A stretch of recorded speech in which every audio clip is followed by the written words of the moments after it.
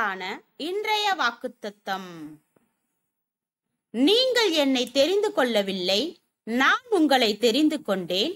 நீங்கள் என் நாமத்தினாலே பிதாவை கேட்டுக்கொள்வது எதுவோ அதை அவர் உங்களுக்கு கொடுக்கத்தக்கதாக நீங்கள் போய் கனி கொடுக்கும் படிக்கும் உங்கள் கனி நிலைத்திருக்கும் படிக்கும் நான் உங்களை ஏற்படுத்தினேன். யோவான் பதினைந்தாவது அதிகாரம் பதினாறாவது வசனம்.